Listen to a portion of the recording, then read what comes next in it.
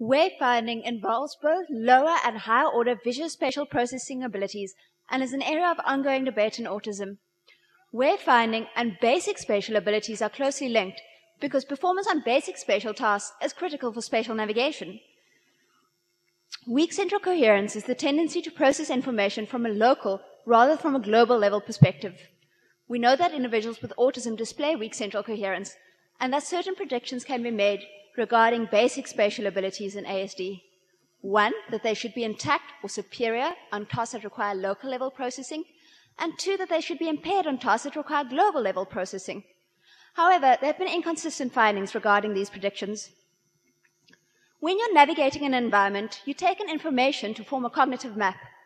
There are two types of coding strategies. Allocentric coding is the viewing of an object in relation to external landmarks and is independent of the relationship between yourself and that object. Egocentric coding, on the other hand, is the viewing of an object in relation to yourself.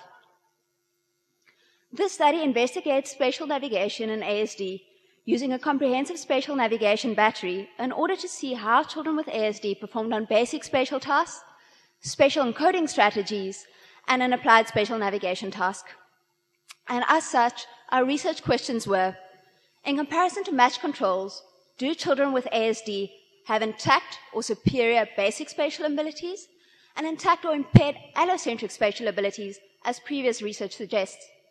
And if they are indeed impaired on allocentric ability, can they navigate within a novel environment? And if they can navigate within a novel environment, what search strategies are they using to do so? Our sample consisted of six groups of children aged 6 to 16 years, with 15 children per group. We had high functioning autism, Asperger's, and PDD-NOS groups who were matched with the typically developing control group, and a low functioning autism group who were matched with the mentally handicapped sample. The basic spatial task consisted of the Rey complex figure, the children's embedded figures test, and block design. For egocentric coding, we used the spatial response learning task, and for allocentric coding, we used the nine box maze task and the spatial place coding task. For the navigation task, we use a computer, generated virtual room. Um, in it, participants were required to find a hidden block in the circular room with pictures in it, entering from a different starting point at each time. This therefore required allocentric coding. The CG Arena also allows us output files, as these shown here, so that we can classify participant search strategies into one of four categories. For the results, on tasks of basic spatial ability, we found that the groups performed similarly, except for the PDD-NOS group, who performed worse than the Asperger's and typically developing groups on the CAFT. On allocentric ability, we found that the PDD-NOS and low-functioning autism groups performed worse than their IQ matched controls.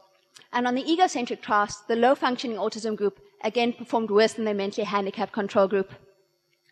On the navigation task, we found that the groups performed similarly in terms of their path lengths to the target, the time they spent looking for the target in the correct quadrant, and the number of times that they found the target when compared to their IQ match controls.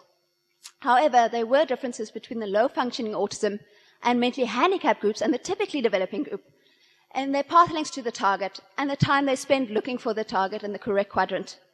Therefore, we wanted to analyze search strategies as we thought these groups might be using different strategies to find the target.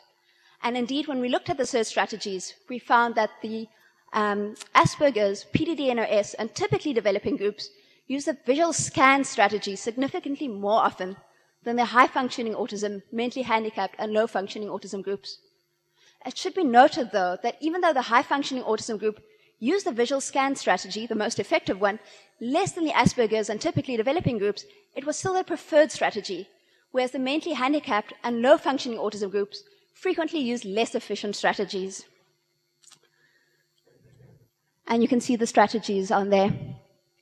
In conclusion, with regards to basic spatial abilities, we found that the ASD groups performed similarly or more poorly on tasks of basic spatial abilities and not superior as the weak central coherence theory would predict.